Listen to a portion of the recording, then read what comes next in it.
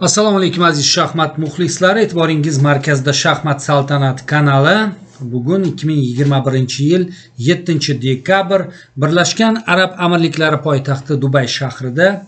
Shaxmat bo'yicha jahon chempionligi uchun amaldagi jahon chempioni norvegiyalik magnus karlsen va rossiyalik toj da'vogari xalqaro grossmeyster yan nepomnishelar o'rtasida to'qqizinchi partiya bo'lib o'tdi.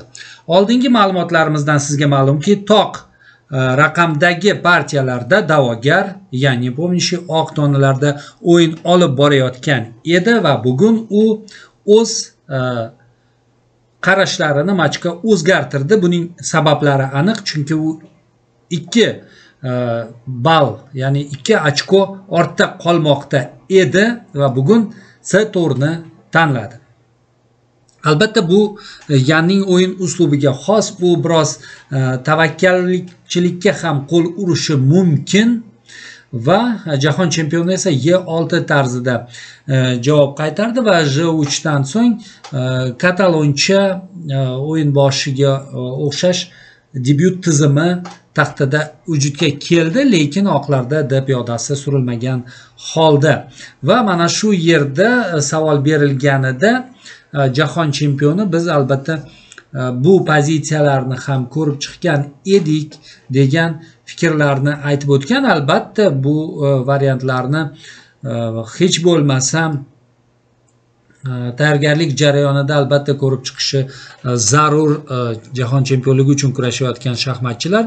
Va keyinchalik taxtada sipohlarni rivojlanishi davom etdi. Va keyingi yurishlardan ma'lum bo'ldiki oqlarning e, vaziyati biroz yaxshiroqdek bunga sabab qoralarda e, muammoli sipoh paydo bo'ldi. Bu s sakkizdagi fil. Chunki e olti piyodasi turgan paytda albatta s sakkizdagi filni e, qayerga qo'yish muammolari paydo bo'ladi? Bu fransuzcha himoyada ham mana shunga o'xshash g'oyalar bor. Va hokazo va endi ya не помнящий э, biroz э, faollikni his qilganidan so'ng albatta uni amalda э, aks ettirishga harakat qilib ko'rdi va markazda buning uchun asoslar paydo bo'ldi. Hozirda e, qarasak albatta qoralarda sipohlarning rivojlanishida ancha ortda qolish sezilmoqda. Ular hali rokirovka qilib ulgurganlari yo'q va s sakkizdagi filning o'yinga chiqishi muammo bo'lib turibdi. Oqlarda esa bunday muammolar yo'q va qolaversa barcha sipohlar ancha faol ekanligi ko'zga tashlanmoqda.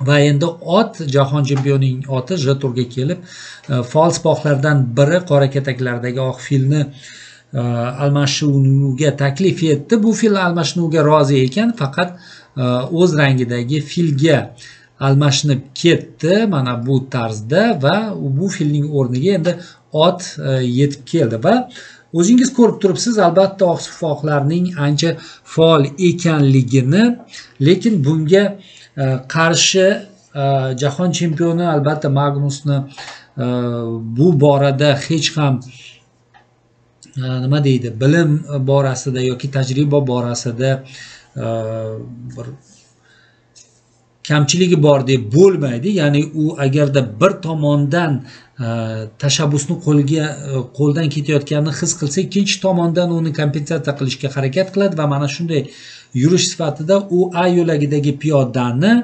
razvedkaga yubordi deyishimiz mumkin. Ya'ni yanni farzin farzand qanotini ushbu piyoda yorib o'tdi va albatta yan bu borada e, aniq yurishni topa olmadi nazarimizda. Buni ko'pchilik mutaxassislar ham ta'kidlab o'tdilar va kompyuter tahlillari bo'yicha ham bu yerda piyodani urib olish emas balki piyodani urib olganda sezilib turibdi. Chunki e, a ruh qora ruh ancha faollashib ketishi shundoq ham ko'zga tashlanib turibdi va e, bu piyodani urib olish qanchalik to'g'ri? Ya'ni shu bir ballni e, yo'qotmaslik uchun shunday qilindimi?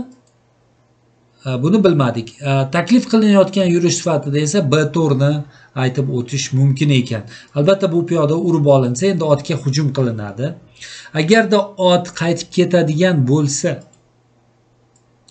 mana bunday b yetti katagiga bosim bo'ladi va oqlarning ruhi faollashib ketadi qoralarning ruhi o'z piyodasiga taqalib turadi. Albatta a ikkida zaif piyoda bor va e, a uchda ancha oldinga surilgan qoralarning piyodasi bor. Bundan cho'chish kerak.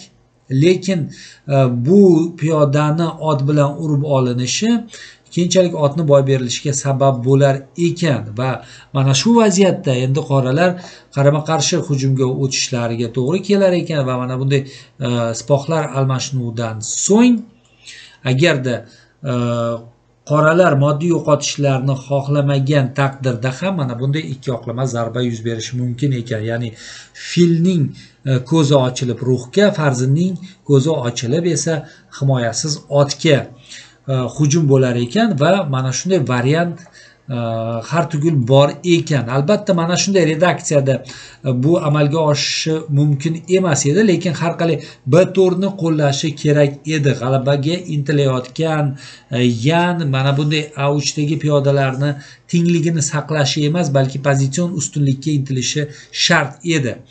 Va amalda esa e, mana bunday e, piyoda urib olinganidan so'ng endi albatta e, oqlar yana markaz bo'ylab hujumga harakat qilib ko'rdi lekin tanqidga uchragan yurishlardan yana bir aynan ruhni e olib o'tilishi bo'ldi. Chunki hozirda bu yurishning ma'nosi yo'q. Oldin farzinni aytaylik e ikkiga olib o'tib farzini e olib o'tib keyinchalik bu ruhni d qo'yilishi foydaliroq bo'lar ekan. Amalda esa ruh e yurdi va keyinchalik baribir farzand e yurdi va mana bu ruh e ruh biroz o'zini yomon his qilayotgandek farzin ortida. Chunki ye yo'lagi bo'ylab hech qanday bu ikki juftlikka faollik yo'q. Va endi e, profilaktik e, harakatlar ham amalga oshdi va keyinchalik farzinni e uchga qo'yilishi ham unchalik muvaffaqiyatli emas ekan. Lekin shunda ham tenglik saqlanib qolayotgan edi amalda va mana bu yerdagi almashinuv ham Э, magnusning э, fikri bo'yicha men bu almashinuvni ko'rmay qolgan ekanman dedi. Mana ko'ryapsizmi?